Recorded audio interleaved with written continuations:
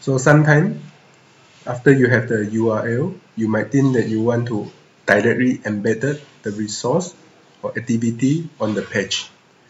So you can do that easily. So first you need to create the link, okay, as shown in the previous video. After that, just go to edit, edit setting,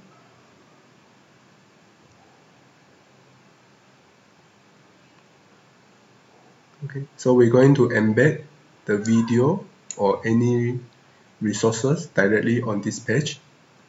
So you need to get the embedded code so this is a Padlet. So we go to Padlet. In the share. Okay share. Share export embedded.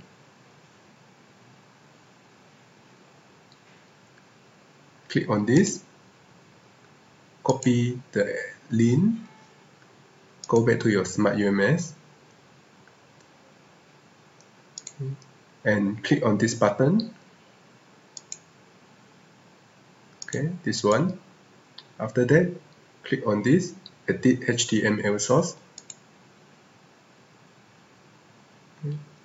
Then just go to the new line, Control V to paste the link, and then click update. So after that, remember to click this, display the description on the course page. Just check this one. And then save and return to course.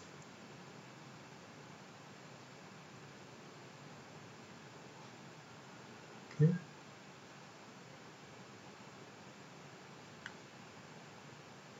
So for YouTube, I show you another example. Okay, for example, this is YouTube. I can just go to edit, edit setting,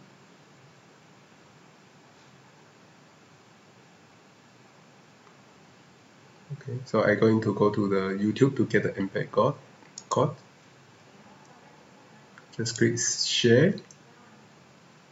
Embed. Select all the link. Just copy.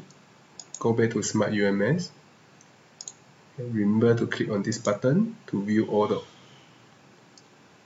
Docker. And click edit HTML source. Go to new line click enter. Control V to paste and then update. Remember to check this box display the description on course page and then save and return to course.